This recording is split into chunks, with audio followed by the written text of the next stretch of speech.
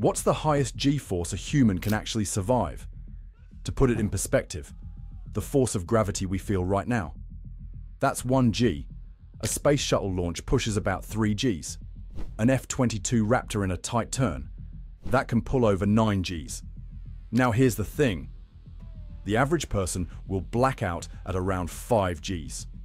Even trained fighter pilots begin to lose vision near 9 Gs despite wearing G-suits and sustained exposure to 6Gs without protection can be fatal. Your brain simply stops getting enough blood. But back in 1954, one man pushed those limits further than anyone thought possible.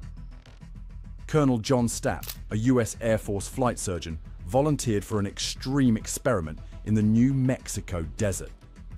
He was strapped to a rocket sled and blasted down a track at more than 600 miles per hour. Stapp endured 25 Gs for over a full second.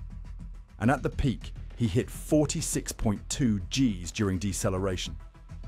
A force that should have killed him on the spot. But somehow, he survived.